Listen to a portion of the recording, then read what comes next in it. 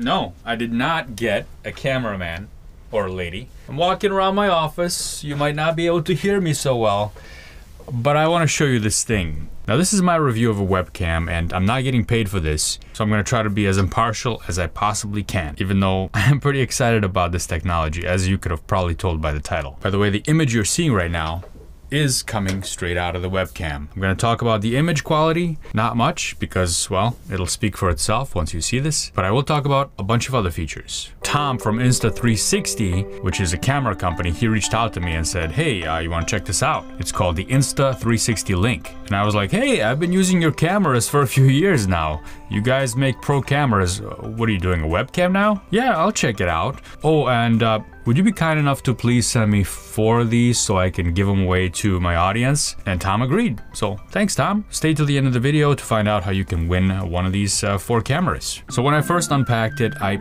just plugged it into my computer and it instantly worked. There is no software setup required for this thing. It just works out of the box like any plug and play camera. All the AI stuff is actually built right into the firmware or the software that runs on board on the camera itself. But you could get uh, the software control for it. The software control allows you to basically do all kinds of different things with the camera. You can change the resolution. Right now I have it to set to 4K, but if you don't like 4K, maybe you don't want to see all those wrinkles or dust on your shirt. So you can set it to 1080p if you wanted to. You can control the gimbal by moving it back and forth right here. You can zoom in and out.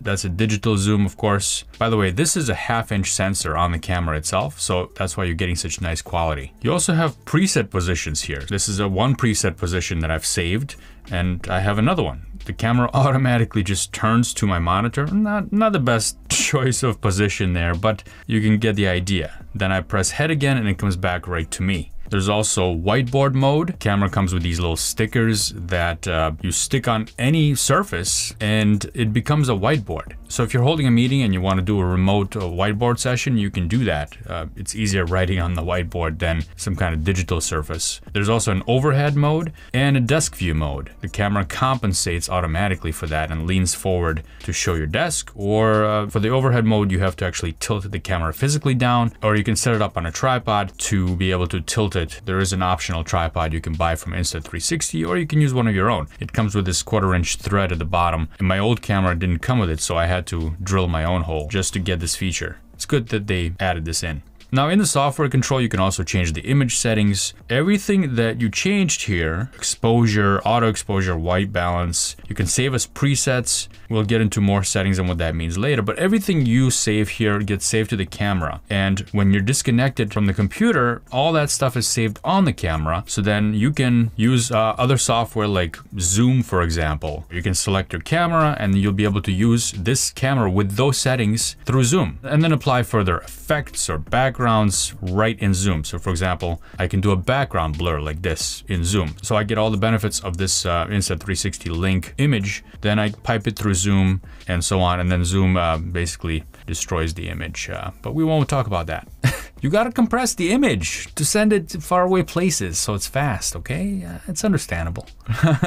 but when I actually have the software open, it's called Insta360 Link Controller, then I can record through here and I get the full quality. It's like having a camera person with you. Now you can also not use the computer at all. Let's say you're giving a talk and you wanna record that remotely and uh, you wanna maybe have a virtual camera person that follows you around if you're walking around the stage, for example. You can do that hook this up to uh, a monitor, hook it up to a little device that converts it to HDMI, and then you're good to go. Or you can bring your laptop and do it that way too. I'm using this thing called the OBSBot, and basically it acts like a webcam host, converts the signal right to HDMI, and then you can output HDMI. By the way, I'll link to all the things I mentioned in this video down below in the description. Now this does have AI features built in, computer vision, I mentioned the, uh, the whiteboard feature before, and it's all connected to the gimbal that's inside. It's got a little tiny little built-in gimbal that basically keeps the camera level at all times. Your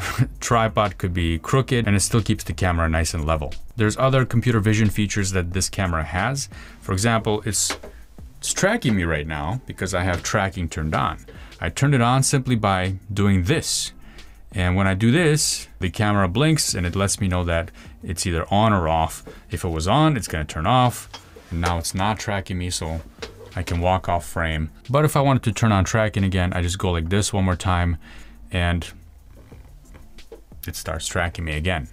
Now, you saw the gimbal controls. There's also zoom controls. There's two different kinds of zoom controls. One is computer vision zoom. You make an L shape basically next to your face. If you go up, it'll zoom in. And if you go down, it'll zoom out. Hopefully you won't be flashing the L sign um, to people that'll misunderstand you. Just explain to them, okay? Explain to them that you're using AI to control the camera, okay? They won't take offense if you explain it to them. To enter the whiteboard mode using gestures, you just go like this, use a V, and it'll search for the stickers and find that. There's also AI zoom. With AI zoom, you basically let the AI handle a zoom for you based on where you are. There's three options under AI zoom, head, half body, and whole body. Let's say I select head, and if I move away from the camera, which I'm doing right now, it's actually zooming into me automatically. I'm, I'm further away, you can hear it from the microphone, but uh, it's zooming in. And when I move closer in, it zooms back out. If I do half body, you get the idea. It's gonna basically do half body. So if I go here, stand like this, half body. All right.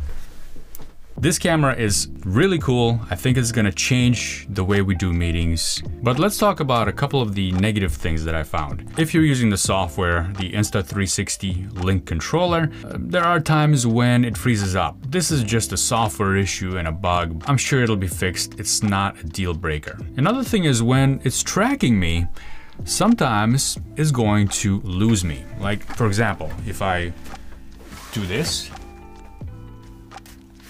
yeah, it lost me. So I quickly got away from it. Now there's a couple of things you can do to fix it. One is just um, basically take the camera manually and point it back at yourself. And it finds you and then it keeps tracking you. Easy as that. Another thing you can do if it loses you is just uh, get back in the frame. And once you're back in the frame, hey, here we are. We're back. Just a couple of things that um, come with the territory. Using cool technology is sometimes a double-edged sword. You get extra capabilities, but you also have to deal with the consequences of using it and something going wrong. Finally, let's talk about price. The camera right now is at 299 US dollars, so it's not the cheapest webcam out there. Does it have really cool features? Yes. Is it really high quality? Yes. But to buy a new webcam and pay 300 bucks for it, you know, you really should need those features. 4K webcams are really coming up. There's quite a lot of options out there that are less expensive. But if you like the feature set of this one and the quality and all the cool, neat things that it can offer, then maybe it's worth it to you. So keep that in mind. Like I said, there will be a Black Friday sale of some kind. So keep an eye out on the description there. Now I got to give away four of these. My Twitter handle is down below. Make sure you follow me. I'm going to be picking random comments from the comments down below this video and announcing the winners on Twitter. All right, that's it for today. Thanks for watching and I'll be back.